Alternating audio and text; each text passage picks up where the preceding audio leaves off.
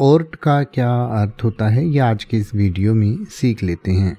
Oort का अर्थ होता है जूठन, जूठा या बचा हुआ खाना। यानी कि जो बचा हुआ झूठा खाना बच जाता है, यानी कि जो किसी के खाने के बाद जो खाना बच जाता है उसको हम ओट कहते हैं। यानी कि आपने देखा होगा कि कई बार जब घरों में या किसी का खाना जो बच जाता है, उस बचे हुए खाने को किसी को दे दिया जाता है या पशुओं को डाल दिया जाता है।